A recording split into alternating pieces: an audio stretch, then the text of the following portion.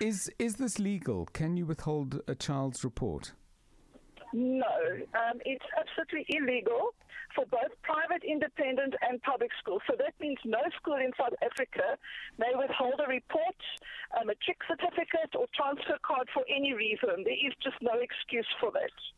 So schools might turn around and argue in their defense that they battle to get money that's owed to them from parents. In some instances, concerns about circumstances are genuine and they entertain those, but some people are withholding money uh, for reasons that are less noble. What what would you say to the schools who argue that point?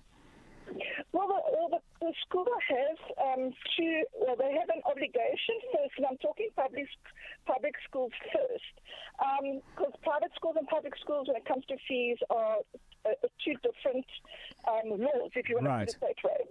Okay, public schools, um, they, we do have a section 41 of the regulation of the school fees, which allows the schools to actually take legal action against the parent who is outstanding of school fees. But the school first has an obligation to make sure that that parent can actually afford the or who does not um, qualify for any portion of reduction or exemption of school fees. So the parent is protected and so is the school, but there is obviously a procedure that has to be followed. News, experts, analysis, where things stand, what you need to know. Drive home with John Perlman on 702.